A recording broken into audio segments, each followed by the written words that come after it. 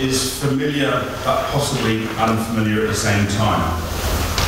But let's look, let's look at the map for a start. Now, you can look at Turkey, if you like, as a peninsula sort of sticking out from the edge of Asia. But I think it's maybe more useful to think of it as a bridge between Asia and Europe. Um, the two continents are divided, I haven't got a point on my finger, um, by the Sea of Marmara here, uh, the Bosphorus River, the Black Sea, and the Dardanelles Straits here. Um, and I think in lots of ways, geographically as well as politically and culturally, there, I think Turkey still is a real bridge between Asia and Europe. There's more than 8,000 kilometres of coastline. You've got the Black Sea all the way along the top, a little bit of the Sea of Marmara, uh, the Aegean here, along with down in the south, the Mediterranean. So that's a long coastline that does tend to have um, some effect on the climate. As well, we mustn't forget that actually part of Turkey is actually in Europe. Thrace, which is this, this, area obviously to the north of the Sea of Marmara, and that, there, there's the border there. Um, in fact, Thrace is quite an, uh, an important um, wine growing region. And the rest of the bulk of Turkey is, is often called Anatolia. Um, Turkey actually, uh, for many of us, Turkish wine is quite a new thing, but in fact, there's a bit of a history here. Going back to the um, 1900s, you can see these posters, um, and maybe you'll notice uh, the French on the left-hand one. Um, the French still have a big influence. There's a lot of French winemakers and consultants running around Turkey today.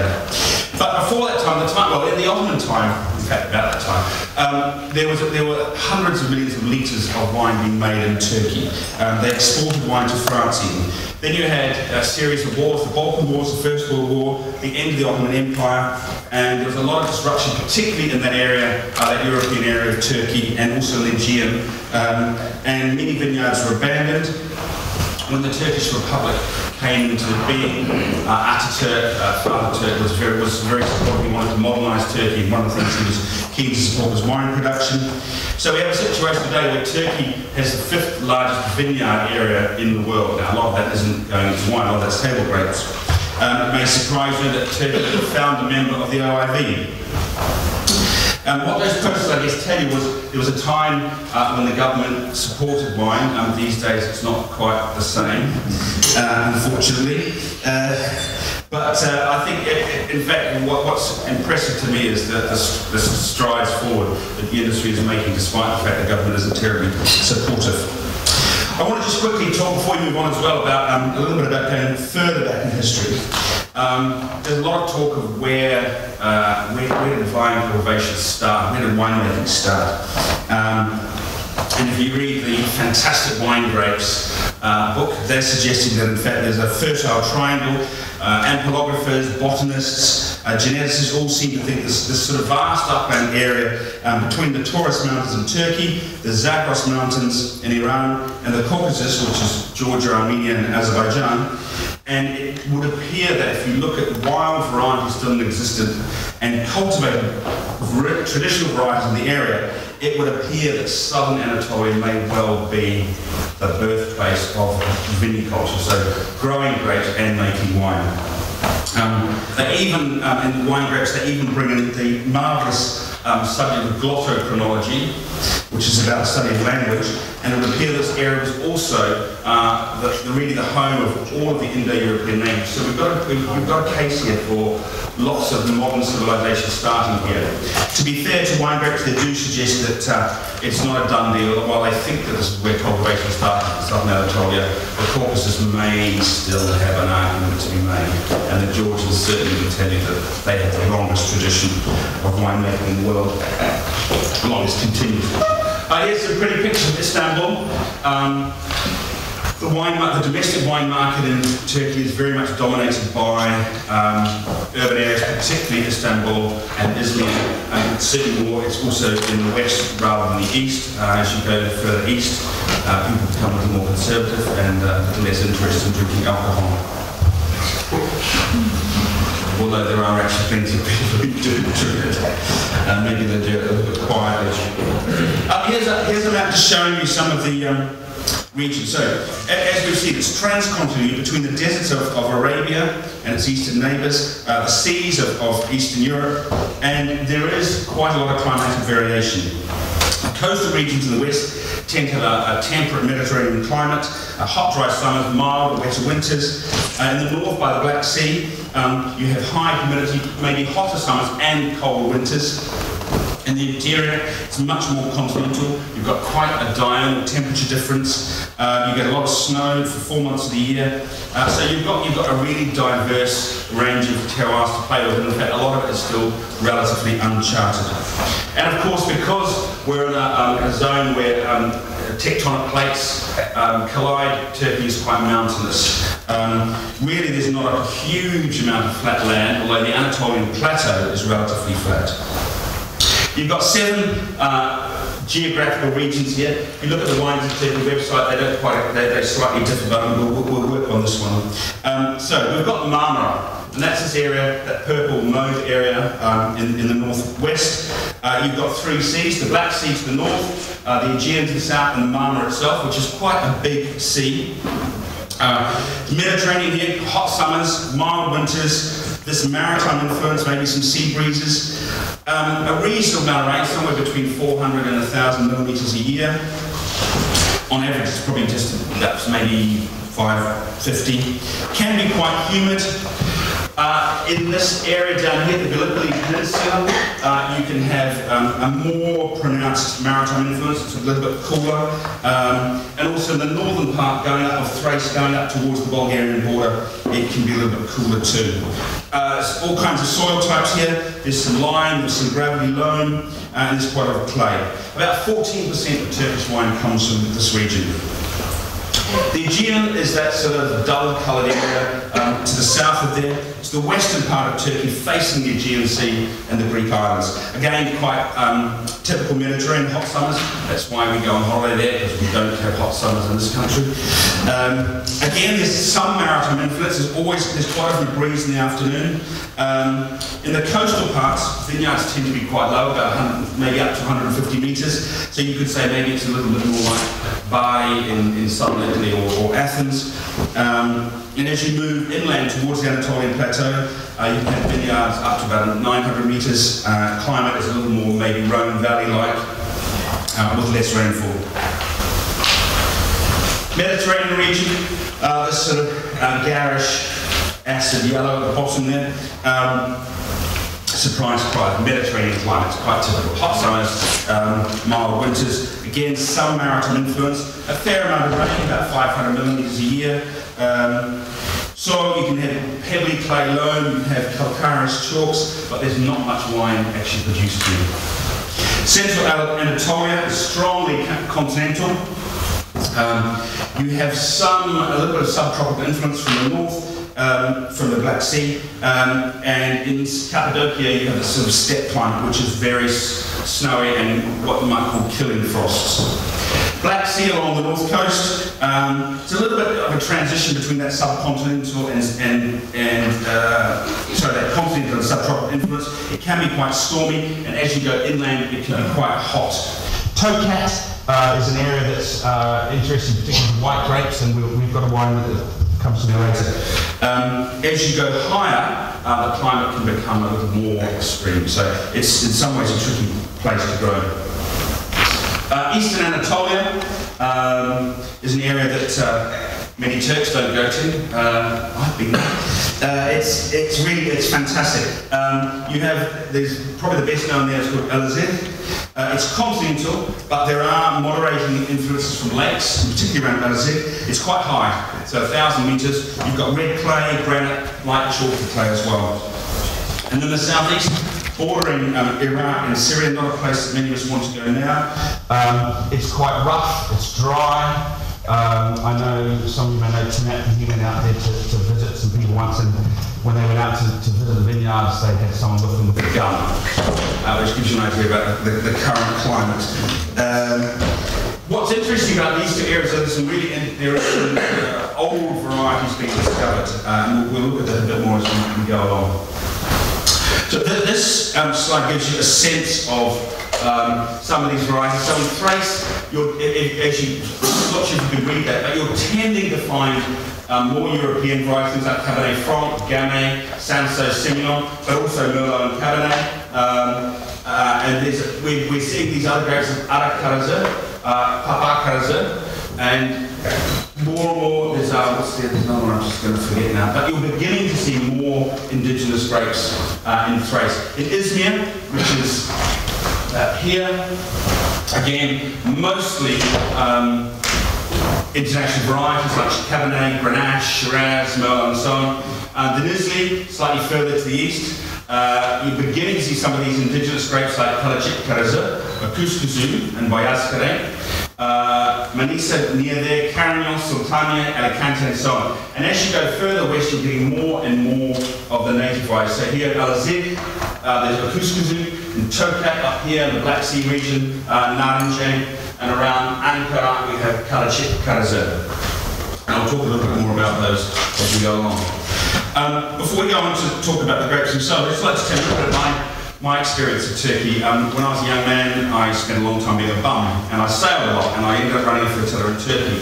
Um, and I can tell you, we drank beer because the wine wasn't very good. It wasn't terrible, but it wasn't very good. And at the end of the end of the season, we went right across to the, to the Far East, and our Turkish friends said, "Why would you want to go to Anatolia in the snow?" And, but it was it was incredible. So I was delighted to be asked back in 2010 to judge a Turkish wines competition. I've been, since then, I've been back three times to judge Turkish wines, and my observation is that Turkish winemakers are becoming more confident in what they do.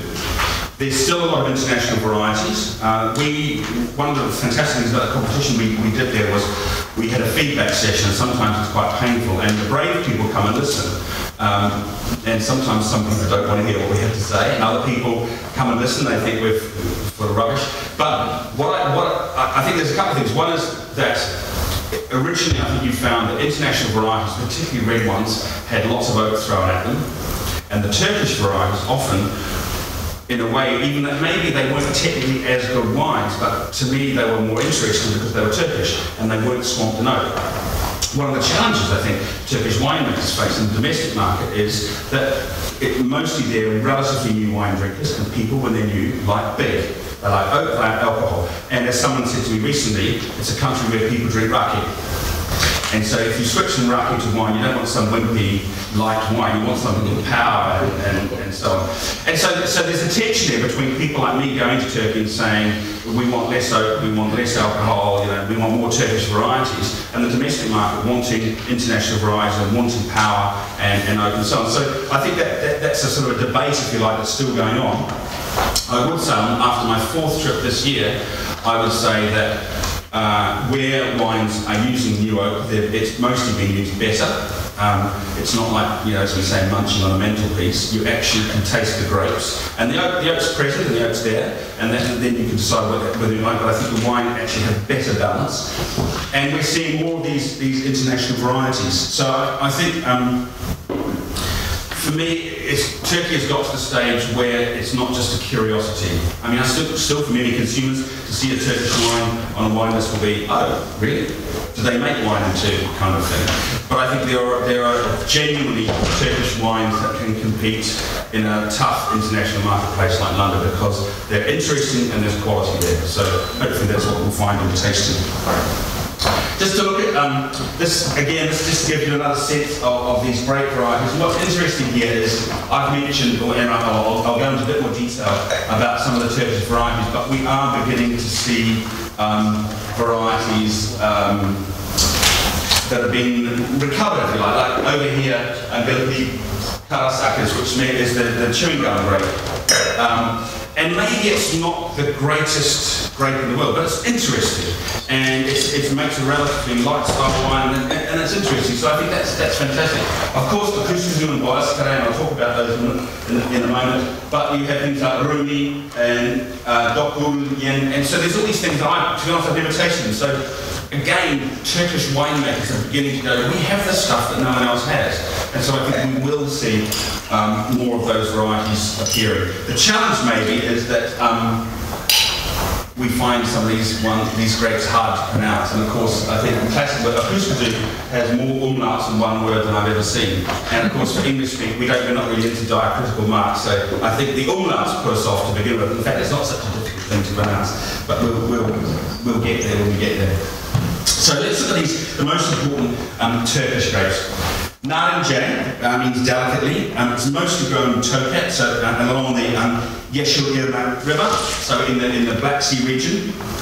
It's one of the most important uh, white varieties in Turkey because it's also widely planted as a table grape. And you will find that a lot of these wine grapes are also grown as table grapes. And of course, there's a bit of a challenge there because you're growing grapes to table, uh, you're probably looking at big fat grapes. And if you're trying to grow grapes for wine, maybe looking at slightly smaller berries and uh, maybe lower yields. So there'll always be tension with growers there.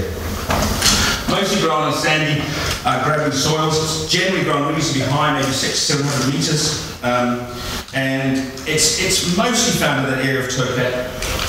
Generally speaking, um, it can, it's, it's fresh and fruity, sometimes oaky, sometimes off dry. It can be full bodied. People tend to find citrus flavors like orange and grapefruit, uh, maybe something floral and, apple and lime. Um, and that's probably, in terms of ageability, it's probably the most important white grape or native grape in Turkey, I think. It's also uh, a useful blending grape, and we've got a wine for you to look at um, as we go along. Sultaniye uh, is the Sultana grape. Um, it's mostly a table grape, generally grown in Denizli and, and Manisa, so that's, that's in the Aegean region. Um, it doesn't make wines with a huge amount of personality, but these days with modern, modern winemaking, it's giving you know, nice, easy to drink, light, fruity wines, um, and we've got one for you to try. Emir comes from Cappadocia, so that's right in, in the centre, if you like, of Anatolia. Um, wines, it often used for making sparkling wines, uh, not particularly heavy, it's got fairly high acidity, so again that suits um, sparkling winemaking. Not a lot of colour.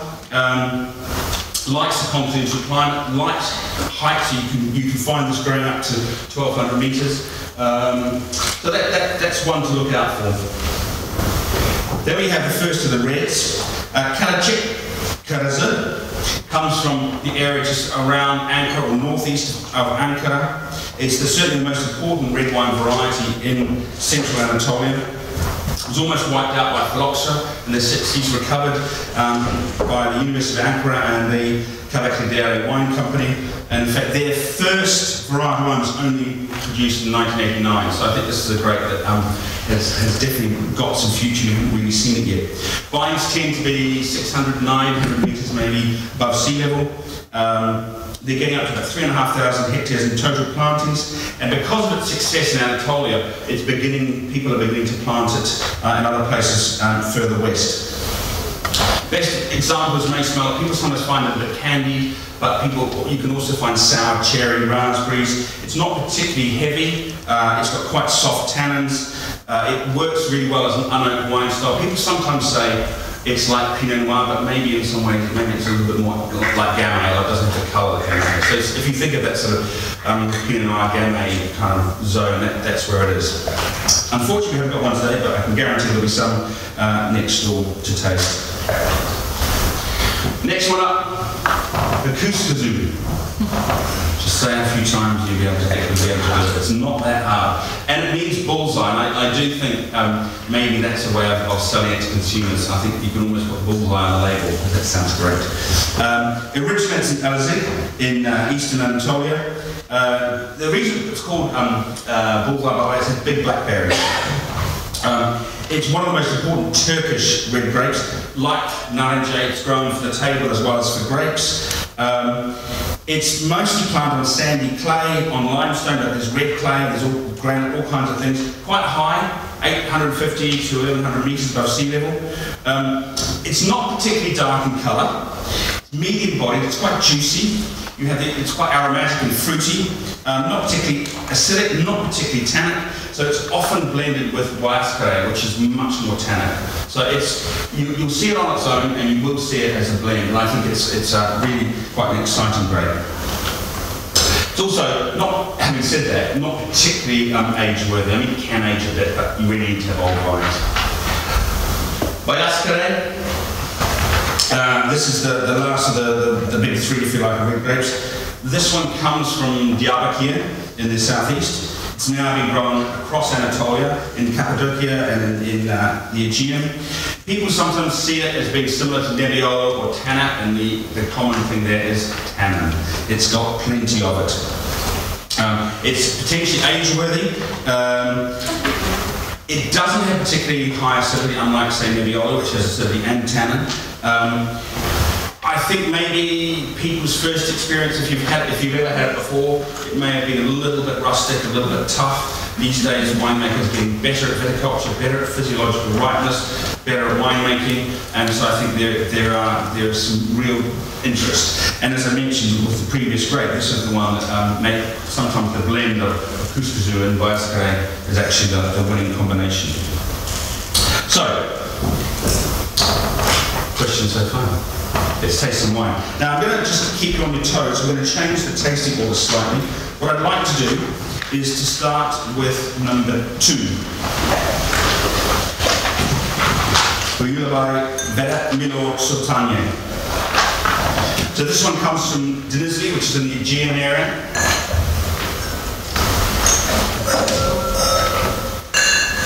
Not hugely aromatic, but that's, that's pretty much what you expect from, from this grape.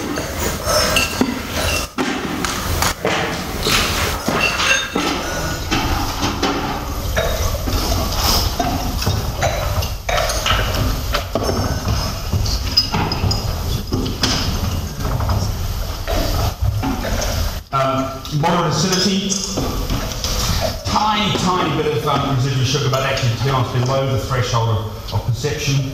Um, a, little, a tiny bit of grip there. I think there's a bit of skin contact there. I think that's a wine that you could drink quite happily on its own, but I think maybe uh, some people might find that a little bit of phenolic grip uh, a challenge to potentially with food. I think this will, work, this work really well. But I think it's a really good example of a, of a, of a, a grape and a wine with relatively modest ambitions. This is not trying to be uh, compete with 50 pound burgundies. It's, it's, a straightforward, fruity, unoaked white wine. So I think a good example of that type. I want to now go on to uh, number four. Okay, this is the Pamukkale Notes Narince. So this comes from the uh, uh, from Guna again, um, uh, west of Turkey. So we're in Denizli, and of course Denizli uh, is really it's the province uh, near the Mediterranean.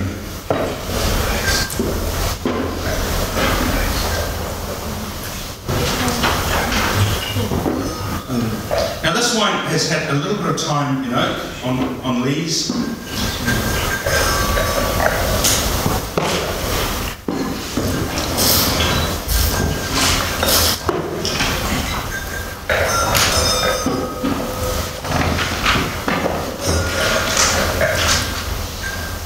There's a nice texture. I think this, for me as an example, I was talking before about oak. I think the oak's been used really well here.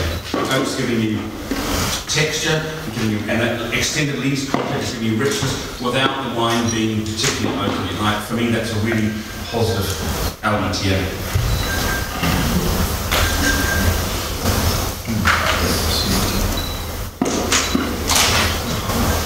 There is something lightly floral there, maybe a little bit of orange peel. Course, when you do oak age, um, you tend to gain texture at the expense of um, variety of expression. I think sometimes if you have unoaked um, Narince, maybe that orange peel carrot is more pronounced.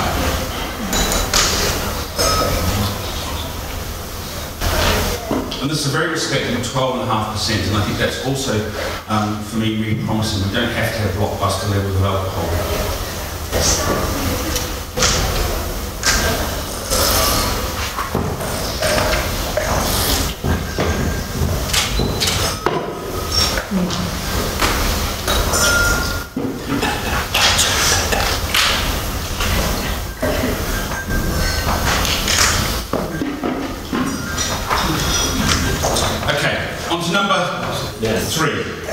Three. Is the third one we're going to taste.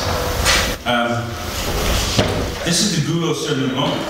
This is from um, Thrace, from Tekirdağ. Uh, this is where I was a couple of months ago in, in uh, judging a competition. Um, of course, for a New Zealander to discuss uh, Sauvignon Blanc from Turkey is quite a challenge. What I like about this wine is it smells like Sauvignon. You're in no doubt it's Sauvignon Blanc. Um, and I, I, I, think that's a positive thing. The, the truth is that um, consumers in this country, certainly not, not just this country, really like the aromas and flavours of Sauvignon Blanc. And I think this is definitely going for expression, lots of aromatic expression. It's at the riper end of the spectrum, but I don't think it's overripe.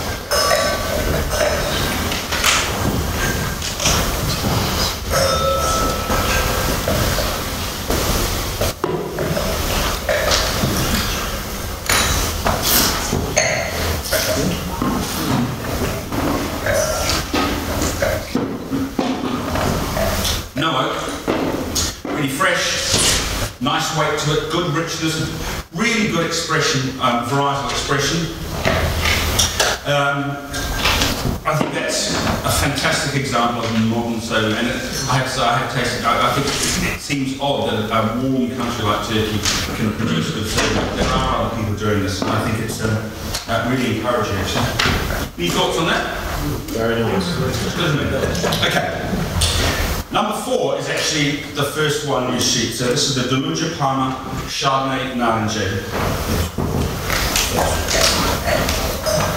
So the Chardonnay comes from Denizli. Let's get back to.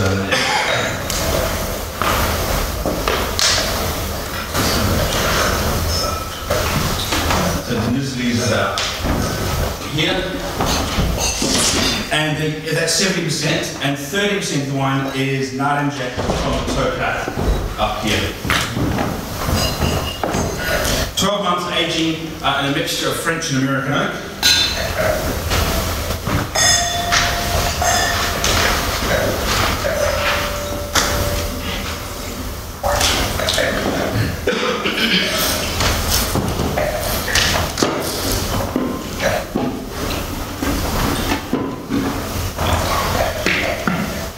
For me, this is a wine I'd love to give to Master Wine students, actually, because it would mess with their heads.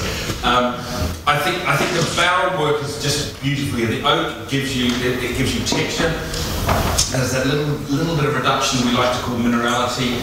Um, the the Narinjak gives you a little bit of a little bit of a fruity kick in there. I think this is a really lovely blend.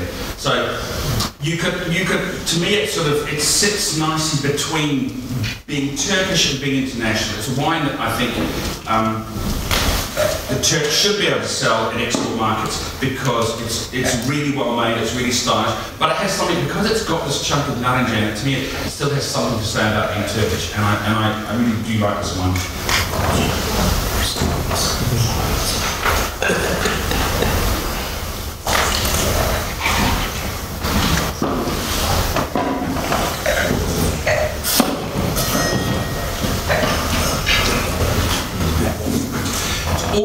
Almost 14% alcohol, but I think it wears that alcohol really nicely. There's enough richness, there's enough texture, the balance is lovely.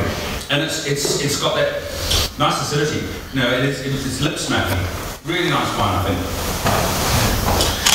Okay, on to some red wines. I think we might stick with the order now. So number five is number five. This is the Mozaik Marin Rebo Petit Verdot. Who can tell me what Rebo is? Want? I had to look it up. the first time I had this. Uh, it's actually a cross uh, that comes um, from Trentino, and it's Merlot and Teroldego. Um, it's, it can give uh, quite rich, uh, full-bodied wines, um, and it likes barrels. So it's blended here with a Petit Verdot. Um, and these, the, both the grapes are grown um, from Urla, which is here near Izmir. months barrel aging, and all the oak was used, third and fourth use.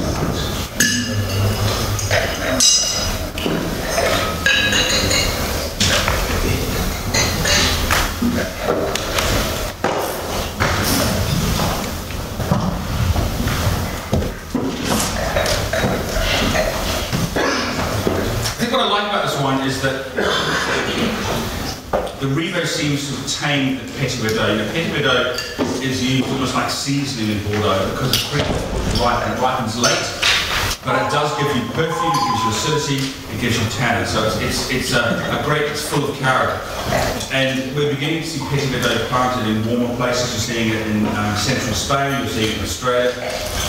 You see uh, some of it in um, western western Turkey, and and I think for me sometimes it flips over from being this sort of um, character tough to being a monster. I think it's really easy to be over the top. And what I like about this wine is, is it's got structure, it's got bite, it's got grip, it's got all those things, but it's a really lovely, juicy wine. It's, it's, it's got freshness to it. It's not overripe, which for me is really important. Um, 14%, so plenty of alcohol, but again, alcohol's not free, it's not too high. So a lovely sort of savoury note, I'm not, I'm not sure if that's from the Petit Verdot or from the Rivo.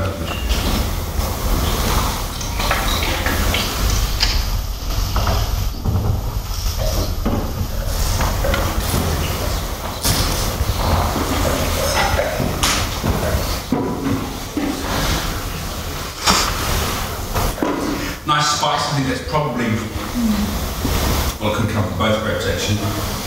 I think this is why maybe we wouldn't, we, we, would we age Turkish wines? I would say why not? But I think it's hard maybe to get people to think about Turkish wines as wouldn't age. I think there's an upfront fruitiness and juiciness that you could drink this, but I'd like to see it served in a decanter and maybe alternatively given um, a few years more bottle age. I think really um, encouraging and it's interesting to see this great Rivo. You know, it's, I'm, I'm, not sure I've consciously tasted one until I tasted this wine in Turkey a few couple of months ago. Okay, uh, on to number six. This is Gali Centenary Merlot Cabernet Franc. Uh, all the grapes are grown in Gallipoli. And remember, so we're, we're uh, here in the Marmara region, but we've got that definite um, uh, maritime influence, which, and, which gives us cooler breezes and better freshness in the grapes.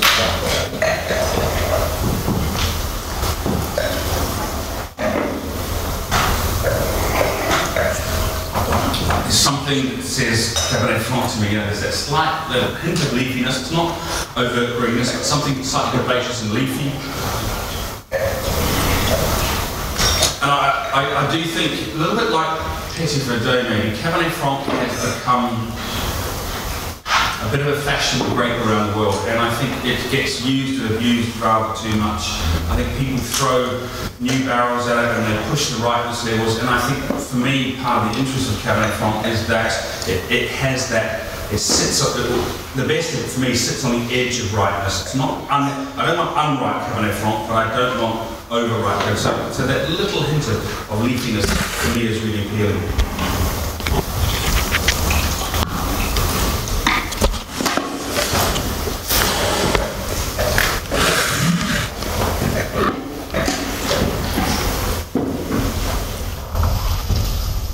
Not short of tannin, um, as you might expect. Again, a wine I would really like to, to put away for a few years in the cellar, give it a bit of chance. I think those need to, the flavours are lovely, but I think those tannins need a little bit more time to integrate in the wine. Again, um, the reality is certainly if we're trying to serve this wine in restaurants, these days everybody needs to sell their wine, but I think I think I'd like to see this wine in a decanter, and maybe uh, people might be shocked at the idea of putting Turkish wine in a decanter, but I think it, that, that, that aeration is what this wine really needs. But I think it's excellent wine. On to number seven, Selendi, Sarnec Shiraz. This is um, uh, from Manisa province in the Aegean region. So we're sort of between Antalya on the coast and Ankara, slightly closer to the coast. We're on a plateau here about 800 metres above sea level, uh, with a lovely climate for vineyards. And they harvest in September, which is reasonably late. You know, if you um, down on the coast, you can find, in the middle of summer, you can find, uh, as I have, temperatures of 40 degrees during the day. But as you move away from the coast, as you go up, it definitely gets cooler. So harvesting the end of September means you've got a pretty decent growing season. So you can have proper physiological ripeness. This had 18 months in medium toast French oak.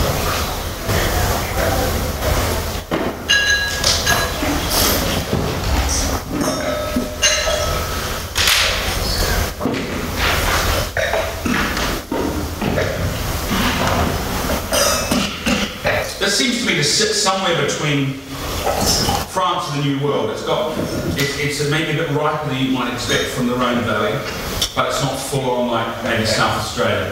Um, quite spicy, quite peppery, plenty of tannin. Maybe at this stage of life you can taste a little more oak tannin. There's a, there's a bit of astringency there. Um, but I, I think a really good example of uh, modern Shiraz or Syrah grown in Turkey.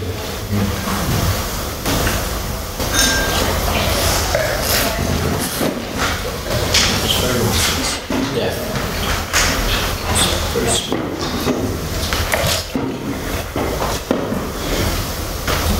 quite a lot of character and depth, concentration. But at this stage of life, it's a bit of a bruiser, isn't it?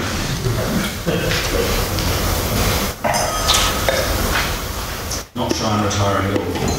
Okay. On to number eight. I should mention actually, one thing. This is this is from Kayra, which is one of the, if you like, the big four companies in Cairo. I think used to be the state the state-owned company, and it's privatised now. And one of the encouraging things I've seen in Turkey is, is we have lots of what you might call boutique producers uh, doing really interesting things. But the big companies have all adjusted it, and I, I think it, for me that's really exciting. That um, you know they, they maybe they have a slightly different agenda, they, they make bigger volumes, but all of the big companies are capable of making good wine in Turkey, and I think that's really encouraging. So this is Öküzgözü uh, from from Aydıncık in Elazığ. So we're in, we're over here.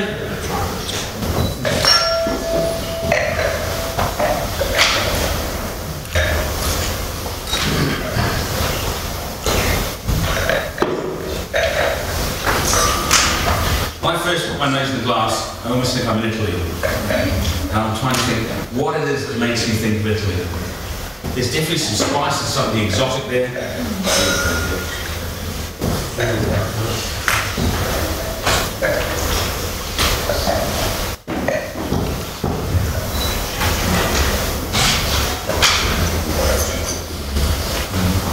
Maybe some fibers.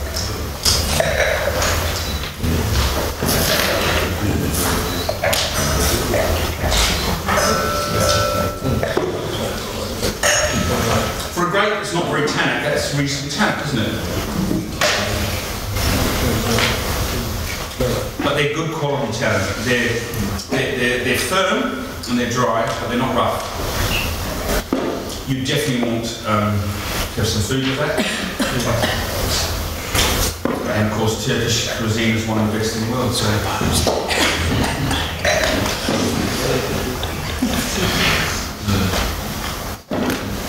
This has had 20 months oak. I'm not sure how much is new.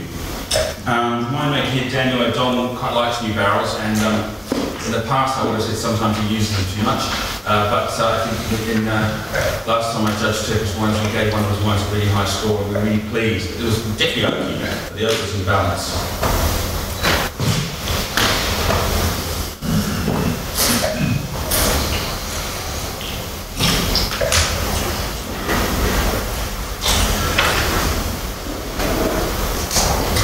Breakfast wine, is it?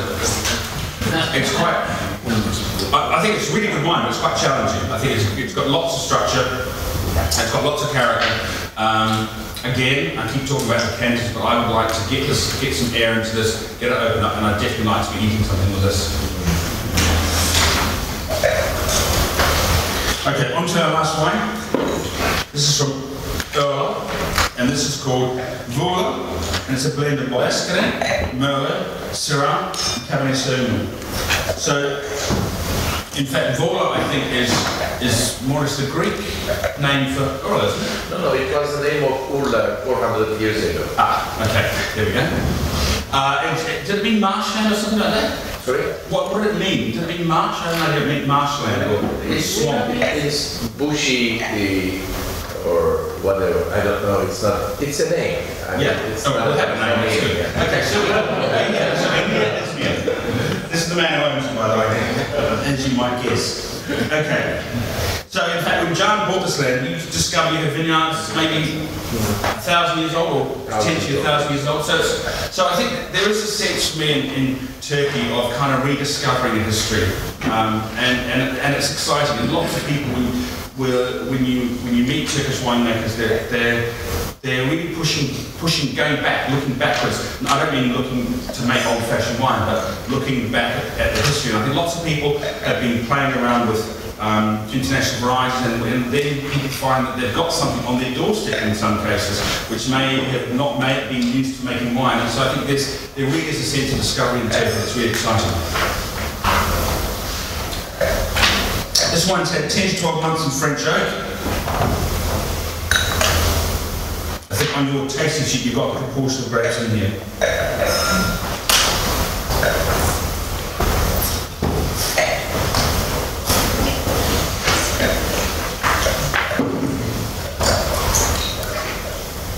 Again, I think this is an, this is an, an ambitious wine.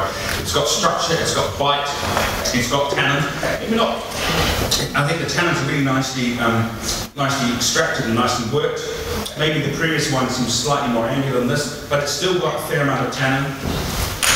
Got a decent amount of acidity. It's got 14.5% alcohol. I think it carries it really well. I'm always moaning about alcohol. I've probably moaned to Can in the past about too much alcohol. But actually, I think this wine works for me. It's 14.5. It's not too high. It's, it's, it, it's got lots going on. Uh, it's a really interesting blend, international Turkish varieties.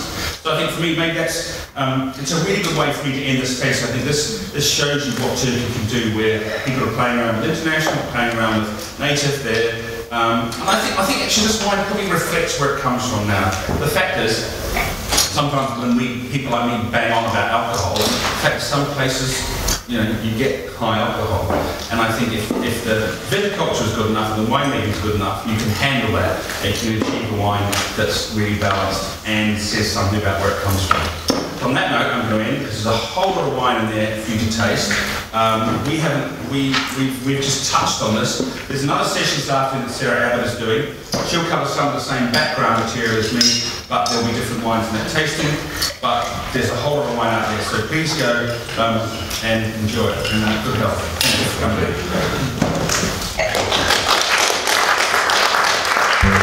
coming.